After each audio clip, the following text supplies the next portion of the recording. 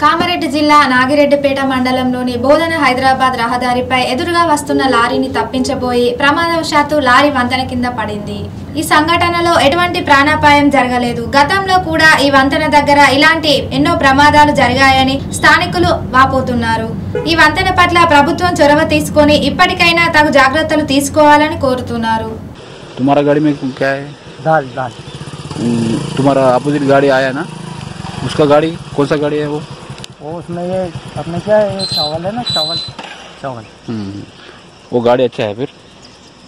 नहीं उसको देखा नहीं।